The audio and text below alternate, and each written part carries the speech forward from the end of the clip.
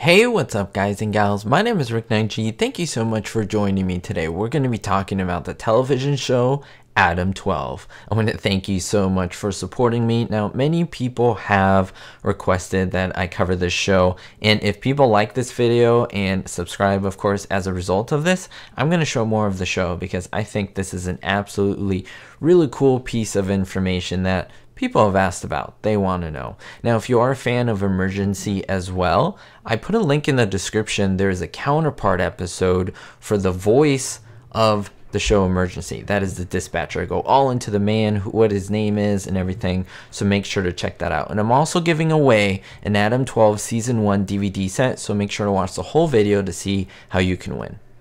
In this video, I'm going to be mentioning and talking a little bit about the woman that is the voice behind Adam 12. Whenever you hear one Adam 12, one Adam 12, who is that woman who is saying that? Well, we're going to break that down for you. We're going to deep dive into that so that you can hear who this person is. One Adam 12, one Adam 12, possible 459 suspects in a 1959 green Buick. Now, her birth name was Shaaron Lee Cooper.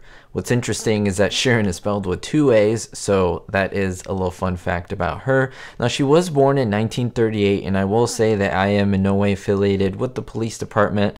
So I'm no expert in that regard, but I do want to break down a little bit about why she was so important and why Jack Webb, the creator of this show, chose her as well. Now, if you don't know, Jack Webb was the man behind Dragnet.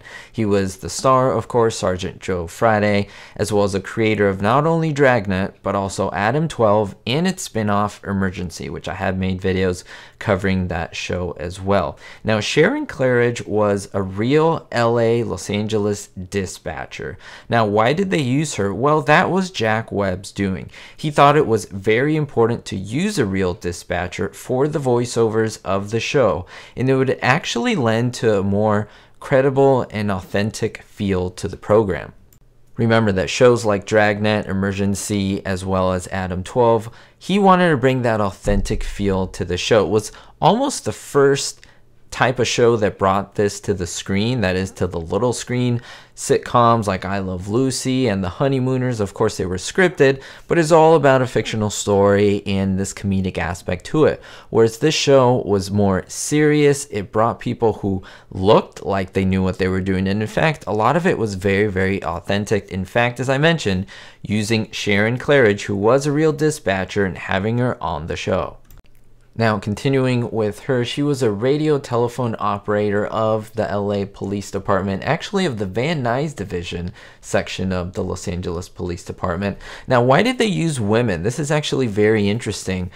Dispatchers actually gravitate toward women, or at least it was like that initially, because it is very much desired. LAPD psychologists thought that women's voices would have a more soothing and calming effect over the airwaves, especially when there was danger for the police officers and they had a radio that they were in danger. It was seen as a little bit more relaxing and more calming to have a woman on the line versus a man. And I think that's very interesting. And Jack Webb wanted to continue that authenticity by bringing Shaaron on camera. Now, for this time between the 60s and into the late 70s, Claridge, her voice was used and credited primarily for providing the police dispatch for this show and a few other television shows, Dragnet, Lou Grant, Columbo, if you guys and gals are familiar with that. Now, her voice work as a dispatcher was featured in all but three episodes, and in fact, she only made a cameo appearance in one episode.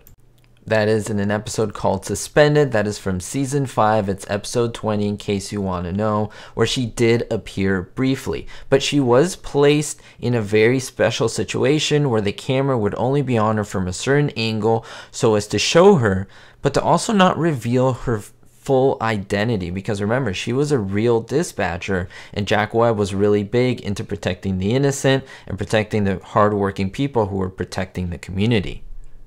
And in this episode, of course, that I mentioned, she is having a brief and quick conversation with Officer Pete Malloy, who was, of course, played by Martin Milner.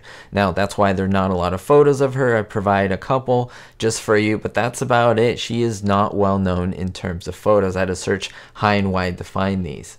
Now, looking back at this image, like I mentioned, they did want to quote unquote protect her identity. It is even said that they used a wig on that, but that has not really been confirmed since, as I mentioned, she wasn't a very popular figure, so we can't really compare it to what she looked like every day, which I think is really interesting and kind of mysterious. Now, this is a really interesting fact that I did want to leave in here, and that is Martin Milner's death. That happened on September 6, 2015. Now, upon learning upon this, Claridge did a special broadcast that is the end of watch for him as a way to pay an honor and tribute to him, which I think is very moving. If you don't know, they usually do the end of watch. It's kind of a dialogue that they do. I can't do it justice to what it is, but it's basically when a police officer retires from duty, he does his kind of, or he or she does his end of watch speech and says, Well, this is the end of my watch, and that's the last time they transmit. So she did that for him as an honoring of not only the character, but the actor as well.